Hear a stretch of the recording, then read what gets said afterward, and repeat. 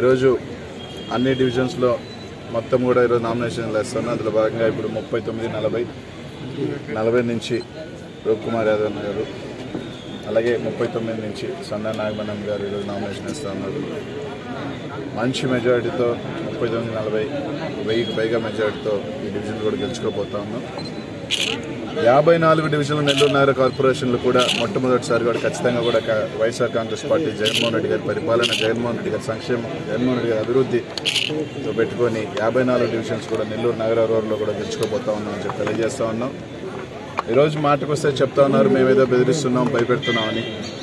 అభ్యర్థిని నిలుపుకునే దమ్ము లేక అభ్యర్థిని నిలుపుకునే సత్తా లేక ఈరోజు అదంతా మా మీద బురద జరుగుతుంది నిన్నటి నుంచి అంతా డ్రామాలు చూసాం.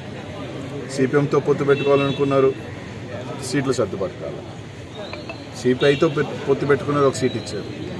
ఆఖరికి ఎంత అనైతిక పొత్తు అంటే ఒక పక్క పవన్ కళ్యాణ్ జనసేన బీజేపీ కలిసి ఉన్నారు ఈయన చూస్తే సిపిఎం వాళ్ళతో పెట్టు పొత్తు పెట్టుకుంటున్నాడు ఇటు పక్క ఇచ్చి నిన్నటి నుంచి మళ్ళీ మధ్యాహ్నం నుంచి పవన్ కళ్యాణ్ వాళ్ళతో పొత్తు.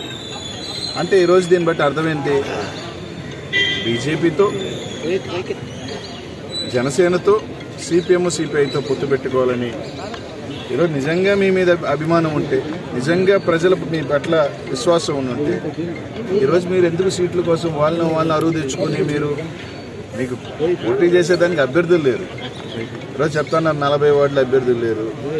ఆఖరికి విన్నాను నేను ఒక దగ్గర నలభై డివిజన్లో ప్రపోజల్ పెట్టుకున్నదని చెప్పుకుంటున్నారు ఇంత దౌర్భాగ్యం పరిస్థితుల్లో మీరు పెట్టుకొని ఈరోజు మా మీద మేము ఎక్కడా కూడా ఎవరిని బెదిరించలేదు.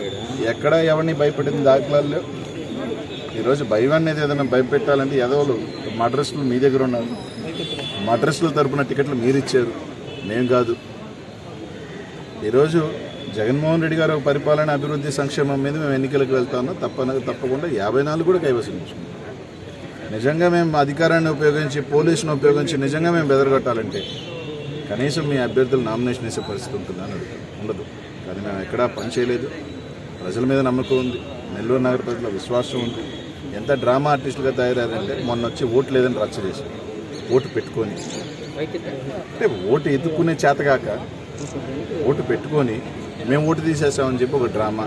ఇట్లాంటి ఎదవ డ్రామాలు చిల్లర డ్రామాలు మానండి. తప్పకుండా ప్రజలు వైఎస్ఆర్ కాంగ్రెస్ పార్టీని దీవించిపోతున్నారు మంచి మెజార్టీతో గెలిపించిపోతున్నారు. అన్ని డివిజన్లు కూడా అత్యధిక మెజార్టీతో గెలిపిస్తారని మనస్ఫూర్తిగా కోరుకుంటున్నారు అదే ప్రజలను కూడా రానున్న రోజులు కూడా మరింత అభివృద్ధి చేసడానికి మరింత సంక్షేమం ఈరోజు ప్రజలను కూడా కోరుతా ఉన్నాం. కాబట్టి పొత్తుల కోసం ఆరాటపడుతూ అనైతిక పొత్తుల కోసం జరుగుతున్న పార్టీలని పక్కన పెట్టాలని చెప్పి మనస్ఫూర్తిగా